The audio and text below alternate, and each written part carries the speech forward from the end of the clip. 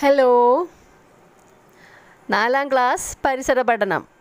Unit one വയലും വനവും. കഴിഞ്ഞ ദിവസം നമ്മൾ വയലിൽ കൂടെ ഒരു യാത്ര പോയി അല്ലേ? അവിടെയുള്ള സസ്യങ്ങളെയും ജീവികളെയും ഒക്കെ കണ്ടെത്തി ലിസ്റ്റ് ചെയ്തു അല്ലേ? നിങ്ങളുടെ കയ്യിൽ ആ ലിസ്റ്റ് ഉണ്ടായിരിക്കുമല്ലോ. ഇനി അതിൽ ഏതെല്ലാമാണ് കരയിൽ മാത്രം വസിക്കുന്നവ? ജലത്തിൽ മാത്രം വസിക്കുന്നവയോ? അത് ഏതൊക്കെയാണെന്ന് ഒരു പട്ടികയാക്കി എഴുതാണ് നിങ്ങൾ വേണ്ടത്.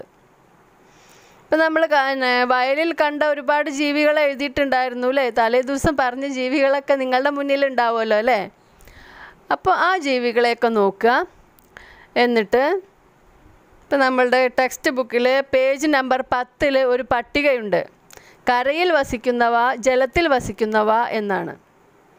ആ പട്ടിക നോക്കി അത് നിങ്ങൾ രണ്ട് ഭാഗമാക്കി എഴുതുക. ഓക്കെ? പിന്നെ ഇതിന്റെ ഇടയിൽ പറഞ്ഞോട്ടെ നിങ്ങൾ ആദ്യമായിട്ടാണ് നമ്മുടെ ഈ വീഡിയോ കാണുന്നതെങ്കിൽ നമ്മുടെ ചാനൽ സബ്സ്ക്രൈബ് ചെയ്യുക. അതിന്റെ അടുത്തുള്ള ബെല്ലൈക്കൺ കൂടി ഒന്ന് പ്രസ് ചെയ്യുകയാണെങ്കിൽ നിങ്ങൾക്ക് നമ്മളിടുന്ന എല്ലാ വീഡിയോസിന്റെയും നോട്ടിഫിക്കേഷൻ നിങ്ങളുടെ ഫോണിൽ ലഭിക്കും. അപ്പോൾ നിങ്ങൾക്കിത് അന്വേഷിച്ച് എവിടെയാണെന്ന് നോക്കി നടക്കേണ്ട ആവശ്യം ഉണ്ടാവില്ല. അപ്പോൾ എല്ലാവരും ചാനൽ സബ്സ്ക്രൈബ് ചെയ്യുക. നിങ്ങൾക്ക് വീഡിയോ ഇഷ്ടമായെങ്കിൽ നിങ്ങൾ ലൈക്ക് ചെയ്യണം കേട്ടോ. എന്നാലല്ലേ മനസ്സിലാവുള്ളൂ. ലൈക്ക് ചെയ്താലേ മനസ്സിലാവുള്ളൂ നമുക്ക് ഈ വീഡിയോ തുടരണോ? അല്ലെങ്കിൽ ഇതിൽ എന്തെങ്കിലും ഇനിയും നിങ്ങൾക്ക് മാറ്റേണ്ടതുണ്ടോ? അപ്പോൾ നിങ്ങൾ ഇഷ്ടമായാൽ തീർച്ചയായും ലൈക്ക് ചെയ്യുക. ഓക്കെ നിങ്ങളുടെ സംശയങ്ങൾ കമന്റായിട്ട് എഴുതി ചോദിക്കൂ കേട്ടോ. അപ്പോൾ നമുക്ക് പട്ടികയാക്കാം. ഇപ്പം നമ്മൾ കരയിൽ വസിക്കുന്ന ആകെ മൊത്തത്തിൽ നിങ്ങൾ പറഞ്ഞ ലിസ്റ്റ് നോക്കുക. അതിനുശേഷം അതിലുള്ളവയാണ് നമ്മൾ തരംതിരിക്കേണ്ടത്. നമ്മളിപ്പോൾ മൊത്തത്തിലൊന്ന് തരംതിരിക്കാൻ നോക്കാം. വയലിൽ കാണുന്ന ജീവികളുടെ പേരുകൾ നമ്മൾ എഴുതിയത് അവിടെ ഇരിക്കട്ടെ. അത് നിങ്ങൾ തരംതിരിക്കുക. ഇനി നമ്മൾക്ക് കരയിൽ വസിക്കുന്നവ ഏതൊക്കെയാണ് എന്ന് നോക്കാം. ഇപ്പോൾ ഇവിടെ ആൽ എന്നാണ് ആദ്യം തന്നിട്ടുള്ളത്. ആൽ. ആൽ ഒരു മരമാണ്. അല്ലേ? ഒരുപാട് മരങ്ങളുടെ പേരുകൾ നിങ്ങൾക്കറിയാം അല്ലേ? അപ്പോൾ അതൊക്കെ കരയിൽ വസിക്കുന്നവയാണ്. പിന്നെ അതുപോലെ കീരി എന്ന് തന്നിട്ടുണ്ട്. കീരി ഒരു ജീവിയാണ്. നമ്മുടെ കരയിൽ മാത്രം ജീവിക്കുന്ന ഒരുപാട് ജീവികളുണ്ട് അല്ലേ?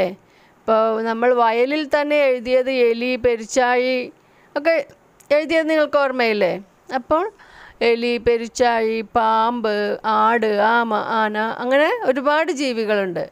ഇതിൽ ആമ എന്ന് പറയുമ്പോൾ നമുക്ക് സംശയമാണ് അല്ലേ? അത് കരയിലാണോ വെള്ളത്തിലാണോ ജീവിക്കുന്നവ? അപ്പോൾ ആമയ്ക്ക് കരയിലും വെള്ളത്തിലും സഞ്ചരിക്കാൻ കഴിയും. അതുകൊണ്ടാണ് നമുക്ക് ആ ഒരു സംശയം തോന്നുന്നത്. അതേപോലെ തന്നെ തവളയ്ക്കും കരയിലും വെള്ളത്തിലും സഞ്ചരിക്കാൻ കഴിയും. വെള്ളത്തിൽ നിൽക്കാനും കഴിയും അല്ലേ ഒരുപാട് നേരം തവള വെള്ളത്തിലാണ് ആമ വെള്ളത്തിലാണ്. അപ്പോൾ വെള്ളത്തിൽ ജീവിക്കുന്നവ എന്നുള്ളതിൽ നമ്മൾക്ക് തവളയും ആമയും ഒക്കെ എഴുതാം. അതേപോലെ തന്നെ ആമ്പൽ കൊടുത്തിട്ടുണ്ട് താമര ആമ്പൽ കുളവാഴ ഇങ്ങനെയൊക്കെയുള്ള പായലില്ലേ? വെള്ളത്തിൽ മാത്രം ഉണ്ടാവുന്ന ഒരുപാട് തരം പായലുകളുണ്ട്. ഇതൊക്കെ നമുക്ക് വെള്ളത്തിൽ ജീവിക്കുന്നവ വെള്ളത്തിൽ വസിക്കുന്നവ എന്നതിൽ എഴുതാവുന്നതാണ്. അപ്പോൾ നിങ്ങളുടെ ലിസ്റ്റ് എങ്ങനെയാണെന്ന് നോക്കൂ. ആൽ ആൽ എന്ന് പറഞ്ഞു കഴിഞ്ഞാൽ അതിന്റെ അടുത്ത് നിങ്ങൾക്ക് ഇഷ്ടം പോലെ മരങ്ങളുടെ പേര് എഴുതാട്ടോ അപ്പോൾ നമുക്കൊരു രണ്ടോ മൂന്നോ മരങ്ങളുടെ പേര് എഴുതാനേ ഇവിടെ സ്ഥലമുള്ളൂ. ആൾ തെങ്ങ് മാവ് പ്ലാവ് അങ്ങനെയൊക്കെ എഴുതാം. ഇനി കീരി എന്ന് തന്നതിൽ നിങ്ങൾക്ക് പൊന്മാൻ കുളക്കോഴി പിന്നെ കൊക്ക് തത്ത അങ്ങനെ എന്ത് വേണമെങ്കിലും എഴുതാം. പിന്നെ ജലത്തിൽ വസിക്കുന്നവ എന്നുള്ളതിൽ ആമ്പൽ താമര കുളവാഴ കുളത്തിലെ പായൽ പിന്നെ തവള മത്സ്യം ആമ അല്ലേ? അങ്ങനെയൊക്കെ എഴുതുക. അടുത്തത്. ആമ്പൽ താമര തുടങ്ങിയ സസ്യങ്ങൾ ജലത്തിൽ വസിക്കുന്നവയല്ലേ? അത് നിങ്ങൾക്ക് ഉറപ്പാണ് അല്ലേ? ആമ്പലും താമരയൊക്കെ നമ്മൾ വെള്ളത്തിലല്ലാതെ കരയിൽ കുഴിച്ചിട്ടുണ്ടാക്കാറില്ലല്ലോ. ജലത്തിൽ വസിക്കുന്നതിന് എന്തെല്ലാം അനുകൂലനങ്ങൾ അവയ്ക്ക് ഉണ്ടെന്ന് ചർച്ച ചെയ്ത് പരിസര പുസ്തകത്തിൽ എഴുതൂ. അനുകൂലനങ്ങൾ എന്ന വാക്ക് നമ്മൾ ഇന്നലെ പഠിച്ചതാണ് കഴിഞ്ഞ ക്ലാസ്സിൽ. ഒരു ജീവിക്ക് അതിന്റെ വാസസ്ഥലത്ത് ജീവിക്കുവാൻ സഹായിക്കുന്ന തരത്തിലുള്ള പ്രത്യേകതകളുണ്ടായിരിക്കും ഈ പ്രത്യേകതകൾക്കാണ് നമ്മൾ അനുകൂലനം എന്ന് പറയുന്നത്. അപ്പോൾ ആമ്പലിനും താമരയ്ക്കും അതിന്റെ ജീവിക്കുന്ന ഏതാണ് സാഹചര്യം? ആ ജീവിക്കുന്ന വാസസ്ഥലം വെള്ളമാണ്. ആ വെള്ളത്തിൽ ജീവിക്കാൻ അതിന് എന്തെല്ലാം അനുകൂലനങ്ങൾ ഉണ്ട്? ഇപ്പം നമ്മളുടെ സാധാരണ ചെടികളെല്ലാം കുറച്ചധികം വെള്ളം ഉണ്ടായാൽ തന്നെ ചീഞ്ഞു പോവും അല്ലേ? എന്നാൽ ആമ്പലും താമരയും സ്ഥിരമായി വെള്ളത്തിൽ നിന്നിട്ടും അവയുടെ തണ്ടുകൾ ഒന്നും തന്നെ ചീഞ്ഞു പോകുന്നില്ല. പൂവ് അതിന്റെ സമയം കഴിയുമ്പോൾ പൂവ് വാടി ചീഞ്ഞൊക്കെ പോകും ഇപ്പോൾ നമുക്കൊന്നും കൂടി പറഞ്ഞു നോക്കാം. ആമ്പലിന്റെയും താമരയുടെയും വെള്ളത്തിൽ ജീവിക്കുവാനുള്ള അനുകൂലനങ്ങൾ എന്തൊക്കെയാണ്? നമ്പർ വൺ വെള്ളത്തിലാണെങ്കിലും ആ സസ്യങ്ങൾ ചീഞ്ഞു പോകുന്നില്ല.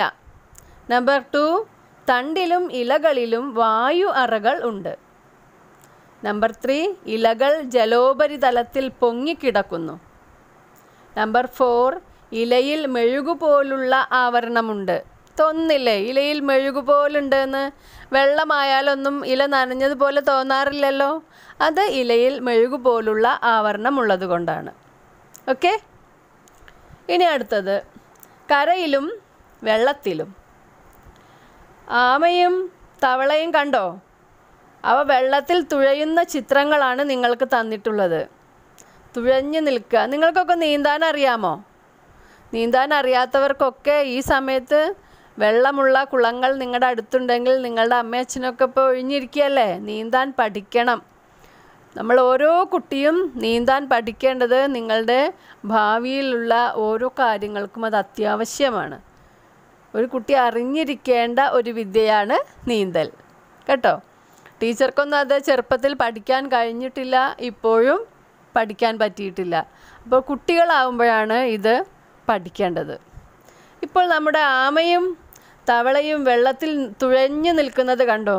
നമ്മൾ എത്ര ആഴമുള്ള കുളങ്ങളിലാണെങ്കിലും ആളുകൾ ഇങ്ങനെ തുഴഞ്ഞു നിൽക്കുന്നത് കണ്ടിട്ടുണ്ടാവും നിങ്ങൾ അല്ലേ? അതുപോലെ നല്ല നല്ലവണ്ണം തുഴഞ്ഞ് സഞ്ചരിക്കാൻ കഴിയുന്ന ജീവികളാണ് ഈ ആമയും തവളയും. നമ്മളോട് എന്താണ് നമ്മളിപ്പോൾ ഇതിൽ നോക്കേണ്ടത്? എല്ലാവരുടെയും അനുകൂലനങ്ങളാണ് നമ്മളിവിടെ ചർച്ച ചെയ്യുന്നത്.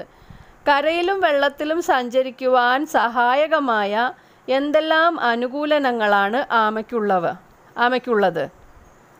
എന്തെല്ലാം അനുകൂലനങ്ങളാണ് ആമയ്ക്കുള്ളത് എന്ന് നോക്കാം.